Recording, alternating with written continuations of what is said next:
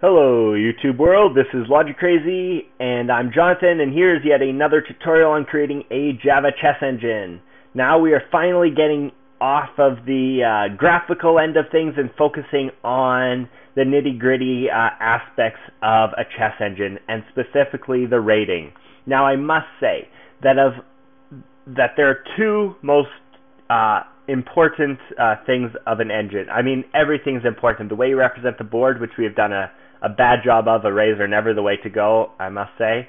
Um, but uh, especially in Java. But anyways, we'll get to that another time maybe. But uh, really important is the search function. If you can make that thing prune fast, prune more items that are unnecessary to look at, or um, rate it faster uh, or better, more accurately, those are the two really, really key aspects. Um, I hate to say one is more important than the other, but both of those are just essentially essential things, and they're really what make uh, define uh, a, a, a good engine from a brilliant one. Um, now, I must say that a chess engine will never rate as good as a human can rate a board. I want to show you one classic example that uh, came to my mind off the top of my head. Uh, there might be more, um, but uh, I want to show you one position that uh, has always stuck in my mind. Um, suppose uh, black has, you know, um, uh, a huge advantage over here. Um, now, obviously, in this position, the engine would be correct in saying that uh, black has the advantage, and obviously a winning game. But let me add an even number of pawns for each position. Let's just go in some sort of diagonal there. You can make it a huge V, whatever you want. Um, different, it doesn't really matter, but you're just trying to get a diagonal view. A view so that, a way so that none of the pawns can capture each other, no matter whose turn it is, um, but they create a solid wall. Now I want to show you something. Uh, black can or white's pieces can never white's king can never pawns cannot move. They're all paralyzed. And and the king can never get here or here or here because of the pawns defending those locations. So this is an impenetrable wall for white. Same with the black kings. Uh, uh, anyways, he can never get in positions such as this or this one um, purely because um, uh, the white's piece defend him. But you will notice that the rating game, no matter where I move the pieces, um, let me just stop it, says that this is an obvious game. That white is definitely going to lose the game. But we can just look at it and say it's an impenetrable wall. Same with rooks coming into places like this. Um, I could breach the wall by taking it with a pawn, but if white would rather just guarantee a tie, it doesn't need to take. It can just keep moving around its king. And the rooks can never penetrate through. It's not like it's a bishop or anything that can take. And so um, this is actually, if you think about it, a neutral position. Sure, there's more material, but it's impenetrable. And the engine, though, is searching all sorts of lines, hundreds of lines, never really getting through this barricade, but um, it still says, hey, in the end, after searching many probable lines, black always comes out materially superior.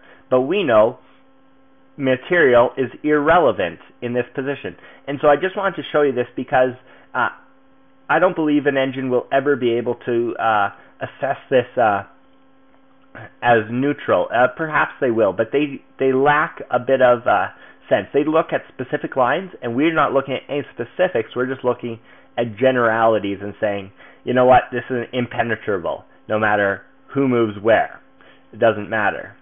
And so uh, material, we would say, would not matter, but a computer always uh, attributes a lot of uh, its rating to material. Material makes a big difference in the, a computer rating system, as it should. So I just wanted to show you this as a classic example of where an engine is incorrect. And you can never expect an engine to be perfect in this rating, and that's why it searches far deeper than the average human to try to overcome this weakness. Alright, so let's focus here on the rating. The first thing I would like to do is create another Java class.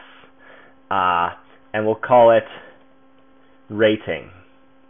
Now, the reason I'm creating a separate class just for rating is because this is an area that can always be expanded. There are just hundreds of great methods to come up with uh, ways of of figuring out ratings, and it's something that will ever be expanded and tweaked upon, and you might not like the way I do it.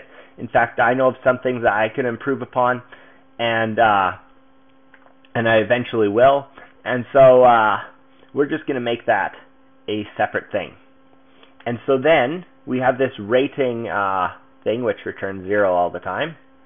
I'm just going to get rid of that which will produce an error and place that in the rating system here. And so over here we now have to call in rating dot rating. A little redundant it looks like, but this way uh, basically you never want uh, one class, you know, just for scrollability or whatever, and and it's a separate it's a separate function to itself. And so this is uh, more uh, object-oriented programming style, uh, a little bit going to a separate class here. So uh, we don't want to return zero no matter what the position is. We want to return a few basic things. And uh, won't get very far in this tutorial, but there's a few key things we want to to address. I'm just going to duplicate this. Let's see, maybe four things or so that we want to address. And uh, one of them would be uh, rate attack. We want to rate the attack. Um, who's attacking who, uh, that sort of thing. We also want to rate the material. That is important. Um, rating the movability. Now, in the movability, we'll also include things like checkmate, which means there are no moves, or stalemate, again, no moves possible. But also movability is how flexible am I? Is my king in a place where he can't, doesn't have an exit strategy? Those sort of things, you know. Um, and we'll also rate uh, rate positional. Um, oh, I misspelled that. There we go. Rate positional. And the rating positional will uh, say, you know, it's better if the king in the end game is in the middle of the board, but it's not good for the king to be in the middle of the board uh, in mid game or opening, and uh, things like that. And those are just generalities to help it uh, along, but they are not always the case. And some things like uh, some programs such as uh, Rybka have been, uh, it has been suggested that they uh, rate positional based on if statements.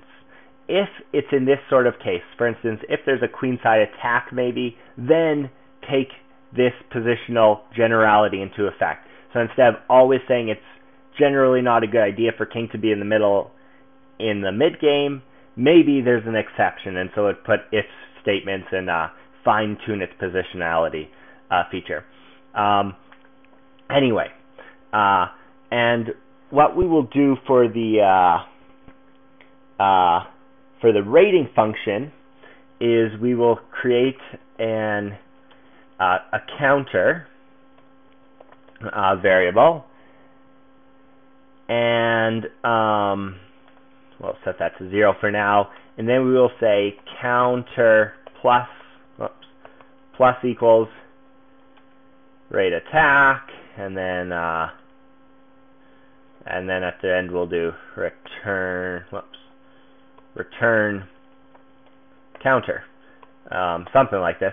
So we'll do add rate attack, and then uh,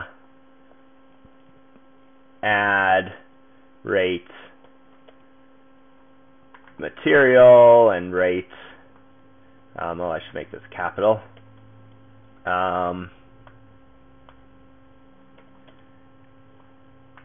rate movability, and rate positional, and then we will do a oh an alpha beta chess dot flipboard, and then we will subtract all the values that the other side has. Um, and so basically when we rate the material, it just checks for capital uh, or whites materials. And then it flips it and subtracts black. So it adds up whites material and subtracts blacks and so on. So each one of these functions will only be looking at one color, just like we've been doing with our whole engine. Using this flipboard, uh, it is possible to program without using this flipboard. It would be much faster, but I believe that this is uh, more easy to uh, uh, understand and to tweak and such.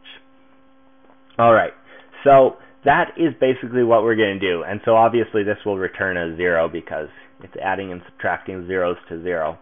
Um, and it will make the same moves. But uh, later on we will fill all of these functions. And there are many more other suggested ideas and things that we will be talking about later on. But this will get us started in coming up with a, uh, a rating system that comes up with a, a generally good uh, system. So we haven't really got started into the rating, but I've uh, just uh, provided an outline for you guys. So until next time, enjoy Java.